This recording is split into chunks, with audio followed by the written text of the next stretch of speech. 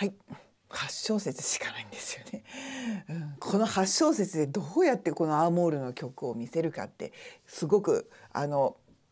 大変だと思うんですけども、うん、まず「ママ人形」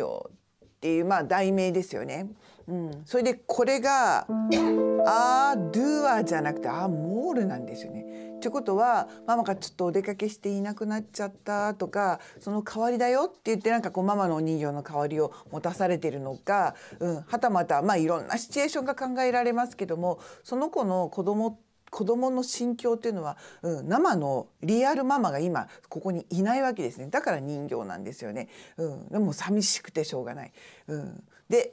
すごくなんかこう気が沈んでる感じ。それがこのアーモールのこの響きに、うん、あの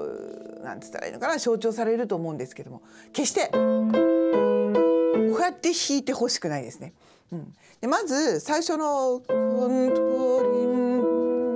まず右手からいきますけども右手の「ド」っつったら次の「ド」に直後に同音の連打があります。うん、でこの時に気をつけなくちゃいけないのはど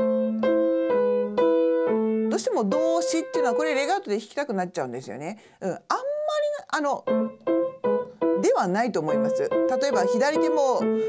りぴょんぴょんじゃないっていう感じには思うんですけどもねなのでできたら少し静かなしんみりしたレガートで弾こうとした時にどの後のこの同音連打のこの「ド」このやっぱり2拍目4拍目の同音連打の後の音このタッチの仕方がとっても難しいと思うんですね。楽譜を、まあ、ちょっといろいろ書き込んじゃったんですけどこれ、えーと、スラがちょっと書いてあってこっち何にも書いてなくてねそうするとなんかスラーはこれつなげて弾かなきゃ下はまあどっちでもいいかなみたいな感じで多分皆さん見えてると思うんですけどね。よく見るとラミソミという音形ね。つのと2小節目のこれ音楽全然違うんですこれ。ここに書いときましたけどこっちはラソラと音楽。だからこれあの軸音だけ弾くと。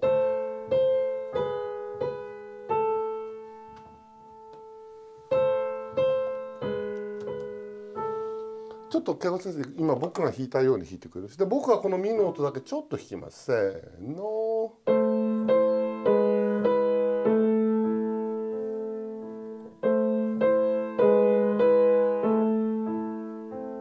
了解ですか？これが同じように四分音符が並んでるんですけどこの中で引き分けなきゃいけないとこなんですね。